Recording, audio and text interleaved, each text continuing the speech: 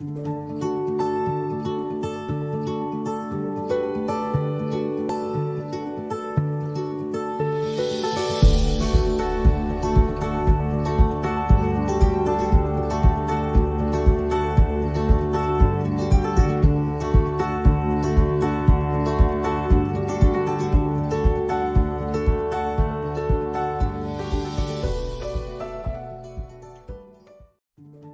Welcome to session 2.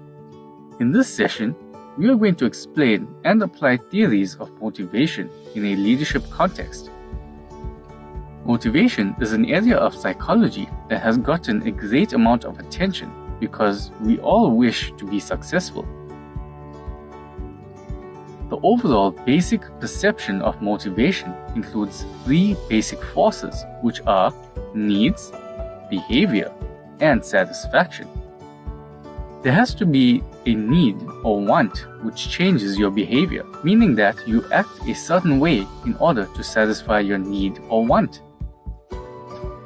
Some models reward between behavior and satisfaction. Part of what a theory of motivation tries to do is explaining and predicting who has which wants, which turns out to be extremely difficult we will briefly cover Maslow's hierarchy of needs. It is a five tier pyramid that we will cover from top to bottom. The categories on the pyramid are self actualization, esteem needs, social needs, security needs, and physiological needs. The lower needs of the pyramid take priority. It does not make sense to worry about your looks when you do not have food to eat which is why basic needs take priority over all other needs. In order for a person to achieve self actualization, they need to satisfy all other needs first. Self actualization is a complete understanding of who you are, a sense of completeness of being the best person you could possibly be. Let us look at the theory called the ERG that classifies needs into three categories. The three categories are growth needs, relatedness needs, and existence needs. Alderfer, who discovered the ERG theory, found that one class of needs might remain stronger whether another class has been satisfied or not.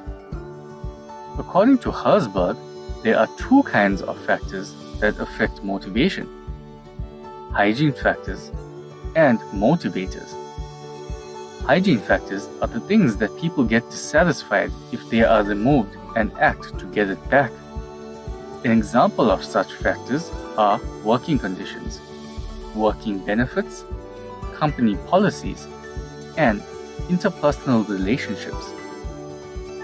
These are the intrinsic items which are at the bottom of both Maslow's and Alderfer's hierarchy.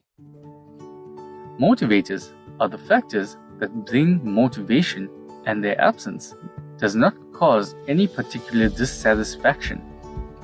An example of a motivating factor would be power. Power basically works by threatening to withhold hygiene factors. There are other theories that explain motivation differently, but all of them agree to the existence of intrinsic and extrinsic motivation. I believe that in order for you to understand the session better, you need to revise your learner guide and go through the topic in detail so that you can also see the sketches in detail. An idea is a great source of self motivation and an ideal way to success.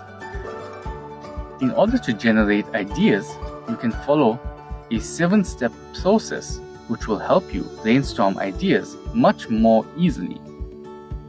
The first step, you set a goal where you will define what exactly you wish to achieve. This will help you know your direction and progress and act as a source of motivation. The second step is to generate ideas. Think of ways and methods you can follow to achieve the end you have set the third step is where you filter your ideas from the list you made and remove the impractical ones. In the fourth step, you group similar ideas together based on characteristics. If some ideas are left with no groups, you can get rid of them. In the fifth step, you prepare an action plan. An action plan will keep you on track. And with your self motivation skills, you can use it to motivate you till you achieve your goals. The sixth step is to list the challenges that you may face while executing the plan and also list the ways you are going to deal with them. This would again act as a source of self motivation by acting as a stimulant and making you work harder and better. The last step is where you have to take action. Since you already have an action plan and you know how you will deal with the challenges, it will be easier to execute the plan. We have come to the end of our session. Let us take a break and continue in the next session.